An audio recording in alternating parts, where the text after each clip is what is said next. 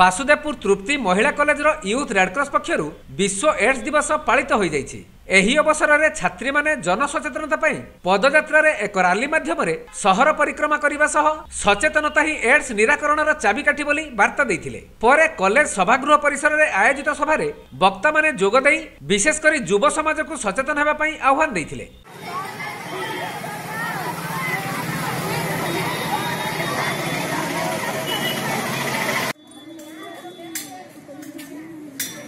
ଭାରତର ଏବଂ ସାରା ବିଶ୍ୱରେ ଏହି ଦିବସଟି ପାଳନ କରାଯାଉଛି ଦିନ ଥିଲା ଏଡ୍ସ କଣ ଲୋକମାନେ ଜାଣିନଥିଲେ ଆମେ ପାଳନ କରୁଛନ୍ତି କେବଳ ସଚେତନତା ପାଇଁ।